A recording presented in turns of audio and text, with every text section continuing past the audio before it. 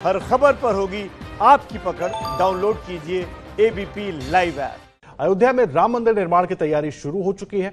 अब से थोड़ी देर पहले श्री राम जन्मभूमि तीर्थ क्षेत्र न्यास में भवन निर्माण समिति के अध्यक्ष नृपेंद्र मिश्रा अयोध्या में रामलला के दर्शन करने पहुँचे हैं।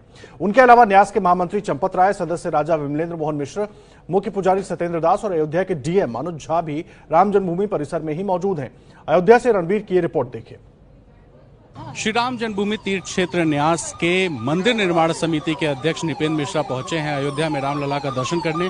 आप देख सकते हैं कि निपेंद्र मिश्रा को जब से मंदिर निर्माण समिति का अध्यक्ष बनाया गया था, तब से वो अभी रामलला का दर्शन करने नहीं आए थे और यहाँ वो पहुँचे हैं, पूरे दलबल के साथ पहुँचे हैं और यहाँ पे रामलला के अंदर जो परिसर है, उस परिसर में जो खाली ज़मीन है उस ज़मीन का भी मुआयना करेंगे और साथ ही जो जिलाधिकारी समेत अलग अलग अधिकारी हैं, उन अधिकारियों के साथ एक बैठक भी निपेंद्र मिश्र करेंगे। आपको बताऊँ कि निपेंद्र मिश्रा के साथ साथ जो राजा विमलेंद्र हैं, जो बोर्ड के सदस्य हैं, उनके अलावा चंपत राय, बोर्ड के जो महामंत्री हैं और जो सत्येंद्र दास जी जो मुख्य पुजारी हैं, वो सभी लोग मंदिर परिसर में हैं। साथ ही डीएम और कमिश्नर भी रामलला का जो दर्शन है, वो करेंगे और साथ ही जो परिसर है, उसका मुआयना करेंगे।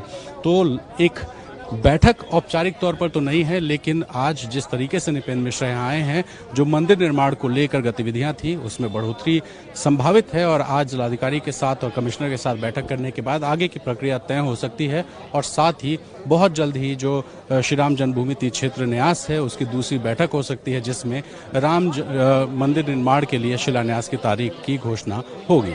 तो फ़िलहाल निपेंद्र मिश्रा मंदिर में है और इंतज़ार है दूसरी बैठक का जब न्यास की बैठक होगी और शिलान्यास का तारीख तय होगा। अपने सहयोगी पुनीत मिश्रा कैमरा पर्सन प्रेम सिंह के साथ रणवीर एबीपी न्यूज़ अयोध्या।